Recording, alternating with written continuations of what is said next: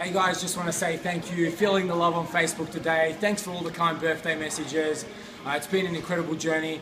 I just want to really say, you know, I've actually spent the last 15 out of 17 years, you know, living in fear. You know, fear of rejection, fear of um, criticism, fear of money, fear of judgment, and I, I believe it all came from my parents' divorce. You know, when I was 10, and I just blame myself, even though I shouldn't have, but I blamed myself, became really insecure, really isolated. And growing up, I never really had that family experience. And I've gotten that from each and every one of you that I've met along the way.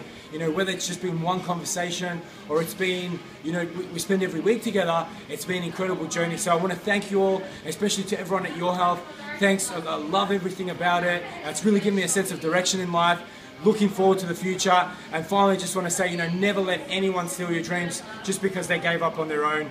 And I promise you all, uh, we are going to be, for, for the 30th birthday, we'll be partying on a yacht in the Bahamas, maybe in wherever in the world, we'll be on a yacht. You'll be invited. Uh, so keep that in mind. I promise you. And yeah, like I said, life is too short to wait until tomorrow. So just go for your dreams and don't wait.